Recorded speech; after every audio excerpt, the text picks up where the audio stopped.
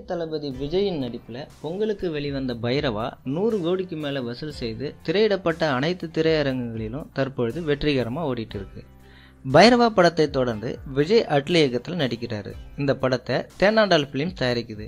விஜய் அட்லி இயக்கத்தில் வெளிவரும் இந்த படம் ஆக்ஷன் படம் என்பதால் விஜய் தற்பொழுது முறுக்கு மிசை தாடியுடன் மனம் வந்துட்டு இருக்காரு. இந்த படத்தில் கதாநாயகிகளா சமந்தா காஜல் அகர்வால் நடிக்கிறாங்க. ஒரு முக்கியமான ரோலில் விஜயோட ஃபேவரட் நாயகியான ஜோதிகாவும் நடிக்க இருக்காங்க இந்த படத்தோட ஷூட்டிங் பிப்ரவரி இரண்டாம் தேதி சென்னையில் தொடங்க உள்ளது. அதனைத் தொடர்ந்து அமெரிக்கா போன்ற வெளிநாடுகளில் படமாக்க திட்டமிட்டிருக்காங்க. ஏற்கனவே விஜய் அட்லி கூட்டணியில் வெளிவந்த தெரி மிகப்பெரிய வெற்றி படமாக அமைஞ்சதாலும் ஜோதிகா போன்றவர்கள் இந்த படத்தில் நடிக்க இருப்பதாலும் இந்த படத்தை பற்றின எதிர்பார்ப்பு அனைவருக்குமே வந்து அதிகரிச்சிருப்பது தான் உண்மை. இந்த வீடியோ உங்களுக்கு பிடிச்சிருந்தா உங்கள் நண்பர்களுக்கு ஷேர் பண்ணுங்கள் மறக்காமல் சப்ஸ்கிரைப் பண்ணுங்கள் நன்றி.